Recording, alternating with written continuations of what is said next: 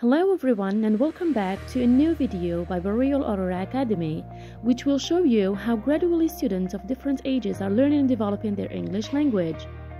In less than two months and by the end of Unit 1 Headway Beginner, students now are able to perform clear and clean conversations, introducing themselves and asking about someone's name using formal and informal greetings. Good morning. My name is is Ikram. What's your name? Uh, good morning, uh, Miss I am Miss Hi, my name's Rani. What is your name? Hi, my name is Shanice. Rani, how are you?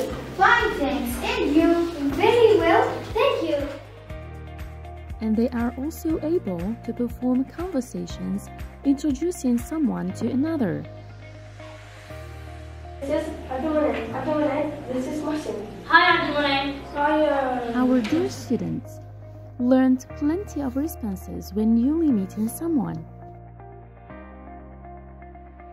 my name's Rani. What is your name? Hi, my name is Shanice. Nice to meet you. Nice to meet you. Additionally, students at Boreal Aurora Academy are also having some fun in learning the English language, playing active and critical games related to the lesson.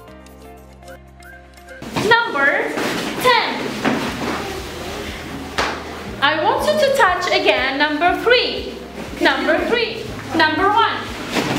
Very good. I want you to touch again number 4. Number 4. Good. I want you to search for the word Saturday. You, the word Friday. Yes, go ahead.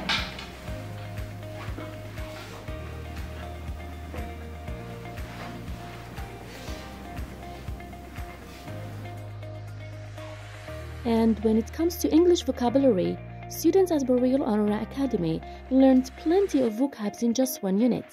They now manage how to ask about things and objects in different places. What's, What's this in English? English? It's pencil case. What's this in English? It's a book. What is this in English? This is a bed.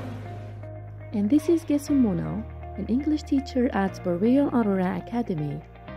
Thanks for watching.